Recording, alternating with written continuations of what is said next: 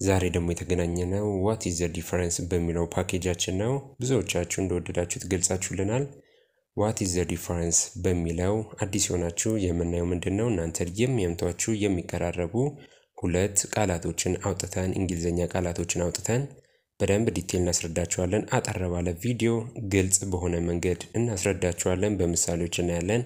የዛሬው what is the difference ኣችን ደግሞ ወንት እና ኒድ ነው። ብዙ ሰውን ግራ የሚያጋቡ ሁለቱን የእንግሊዝኛ ወሳኝ የምንላቸውን ቃላቶች እናያለን። ወንት እና ኒድን እስቲ ዲፈረንሳቸውን አንድ በአንድ እንመልከታቸው።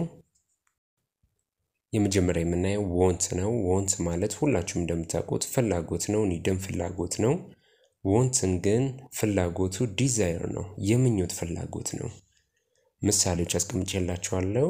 want desire ነው፣ የምኞት ፍላጎት ነው፣ የምትመኙት ነው። ግዴታ necessary አስፈላጊ አይደለም፣ ግን ትፈልጋላችሁ፣ ቢኖራችሁ የምትመኙት አይነት ነገር ነው የሚሆነው። ምሳሌዎች አሉ። I want to eat burger በርገር መብላት እፈልጋለሁ። ይህ ምኞታችሁ እንጂ ይህን ያክል በርገር መብላታችሁ የግዴታ አስፈላጊ አይደለም። ነገር ግን መመገብ ትፈልጋላችሁ።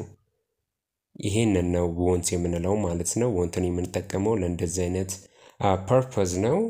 want ኡ want ኡን ደግሞ wanna ማለት ትችላላችሁ። contraction wanna ይሉታል እነሱ። I wanna eat burger ማለት ትችላላችሁ።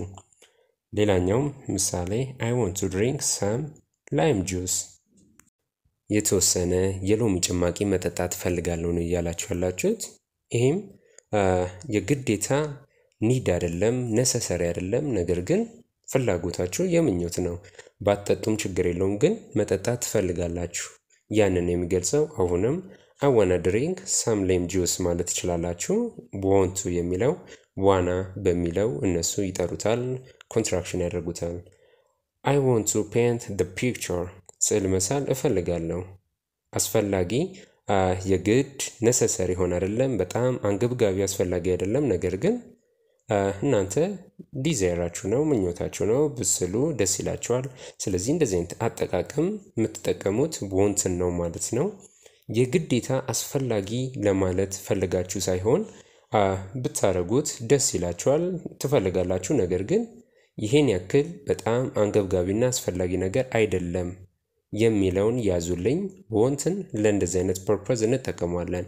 አሁን ደግሞ need ን እንመለከታለን። need ም እንደ want ፍላጎትን የምንገልጽበት ነው። ነገር ግን need ጋር ስትመጡ necessary or essential በጣም አስፈላጊና በጣም አንገብጋቢ የሆነ ነገር ስትፈልጉ ነው የምትጠቀሙበት need ን። ምሳሌዎች አሉ፣ እንመልከት። I need to eat some food የተወሰነ ምግብ መመገብ እፈልጋለሁ። እዚህ ጋር ምግብ መመገባችሁ ግዴታ ነው፣ አንገብጋቢ ነው። ፍላጎታችሁም በጣም ከፍተኛ ነው። ያንን ነው የሚገልጸው need። I need to eat some food ምግብ መመገብ እፈልጋለሁ። ግዴታ መመገብ እንዳለባቸው አይነት አገላለጽ ስገልጹ ነው የምትጠቀሙት ማለት ነው። I need to drink some water የተወሰነ ውሃ መጠጣት ፈልጋለሁ እያላችሁ ነው። ይሄኛውም በጣም አንገብጋቢ ነው፣ መጠጣት አለባችሁ። ስለዚህ ፍላጎታችሁን እየገለጻችሁ ነው። need ን የምትጠቀሙት በጣም አንገብጋቢና በጣም መሰረታዊ ፍላጎት ሲኖራችሁ ነው። I need to do my homework የቤት ስራዬን መስራት ፈልጋለሁ እያላችሁ ነው። ፍላጎታችሁ ጠንካራ መሆኑን የምገልጹበት ነው ኒድ። ስለዚህ የሁለቱ ልዩነት ግልጽ ሆኖላችኋል ብዬ ነው የማስበው። ወንት ፍላጎታችሁ ዝቅተኛ ቢሆንም ባይሆንም ችግር የማይፈጥር ነው። ኒድ ደግሞ ሲሆን ከፍተኛ ፍላጎት ኖሯችሁ የግዴታ ያ ፍላጎታችሁ ማሳካት እንዳለባችሁ የምታምኑበት ነው ማለት ነው። በእንደዚህ አይነት መንገድ ሁለቱን ቃላቶች ለያይታችሁ መጠቀም ትችላላችሁ። ሁለቱም ተመሳሳይ የሆነ ትርጉም ይሰጡናል። ፍላጎት ነው፣ ግን ፍላጎታቸውን የምንገልጽባቸው አገላለጾች ይህንን ይመስላሉ። የዛሬው what is the difference የሚለው ትምህርታችን ይህን ይመስል ነበር። ጥያቄዎች ካሏችሁ comment ስር አስቀምጡልን። የተለያዩ እንግሊዝኛ ቋንቋና እናንተን የሚያነቃቁ motivate የሚያደርጉ ቪዲዮዎች ይለቀቁበታል። ኤስዲ ቲዩብ subscribe፣ like፣ share አድርጉ። ስለተከታተላችሁን ስላያችሁን እናመሰግናለን። መልካም ጊዜ ለሁላችሁ።